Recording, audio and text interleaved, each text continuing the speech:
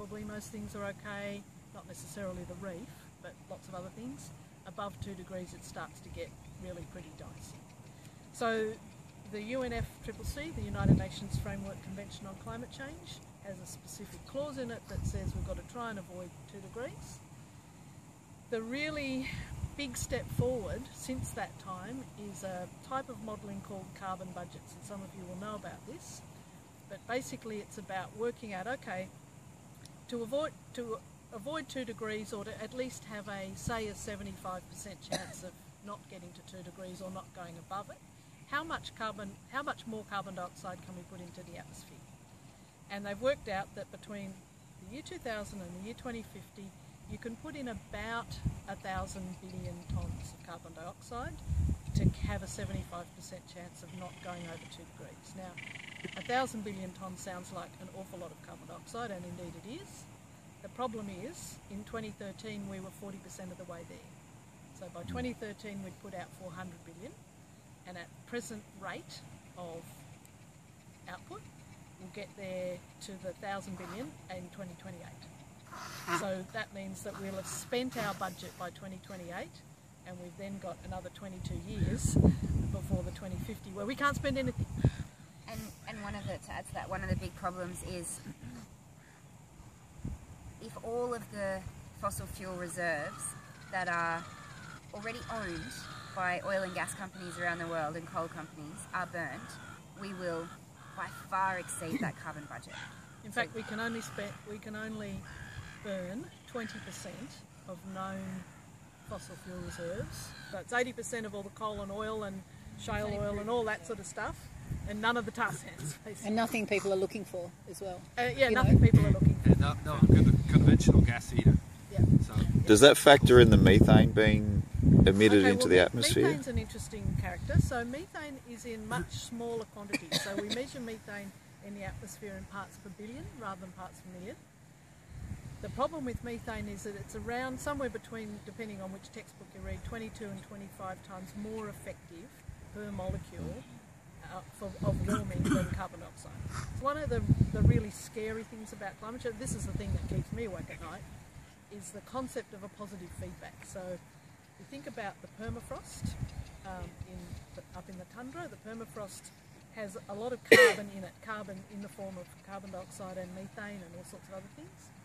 As, as it warms up, the permafrost is melting, and so all of that is decomposing then because it's not frozen anymore and releasing more carbon to the atmosphere in the form of either methane or carbon dioxide. And then that's producing more warming, which is melting more permafrost, etc. And that's what a positive feedback Yep. is. So the really scary thing about uh, what people are talking about tipping points in the climate system is that what we don't, we really don't know where the tipping point will occur, where there'll be a runaway climate change because of these positive feedbacks, which is not adaptable to at all. And we get basically a planet that life as we know it can't exist on. Now we don't know if that will occur at two degrees. Hopefully not. Probably not. It might occur at four degrees. It might occur at six degrees or ten degrees. Yeah. But the point is we don't know. So we really have to kind of play it. So how does the methane factor into the hundred into the um, into the amount of carbon dioxide that can be emitted? So that so when That's extra. so that's extra. So That's you know, extra. Yeah. so if we so we will probably exceed that two degrees of warming. climate scientists that I know, and I don't, I don't, even though I often get introduced as a climate scientist, I, I like to talk about myself as a climate change scientist because I'm Yeah. actually an ecologist rather than climatologist. But mo- I know a lot of climate scientists, and virtually none of them think we'll keep to two degrees. You know, so four Yeah. degrees. The World Bank put out a report last year, the year before, on on a four degree world and what that means. And I think four degrees by the second half of this century is a much more likely prospect than two degrees. It would be great if we could keep to two. Hi, I'm Malcolm Ayles, founder of the Climate Warrior program, and I'd now like to discuss with you uh, the discussion that we just saw uh, myself having with Professor Lesley Hughes, um, lead IPCC author. First of all, she was quite clear about our need to limit warming to a maximum of 2 degrees Celsius to avoid, avoid a climate catastrophe. Second, she highlighted that at the current rates of emissions, we're going to use up our entire climate budget by 2028. Third, when questioned, um, she stated that the carbon budget does not allow for methane and that most climate scientists believe we cannot avoid warming of 4 degrees Celsius. And finally, fourth, we are not sure when we will pass a tipping point that leads to runaway climate change that we simply can't survive. To give our children and future generations a world that we'd like to leave them, a world that isn't a climate catastrophe, we need to limit uh, the warming to a maximum of 2 degrees Celsius. We're, using, we're rapidly using up the carbon budget that is designed to allow us to keep within that range of warming, and we're going to have used it up by 2028.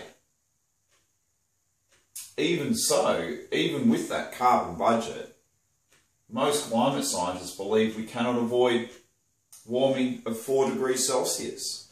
Most climate scientists are telling us, in fact, that we are going to have a climate catastrophe.